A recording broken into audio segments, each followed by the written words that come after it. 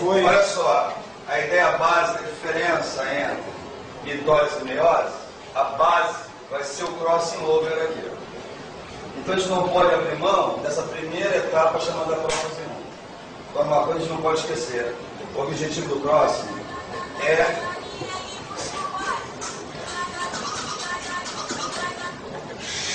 o objetivo é não esquecer que para você ter o próximo, não dizer que você vai gerar variabilidade. O objetivo é aumentar a variabilidade, que é o grande objetivo.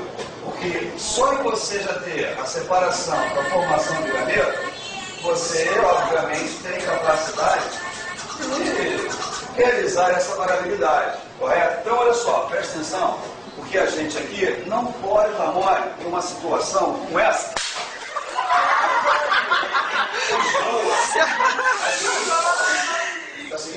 Forma.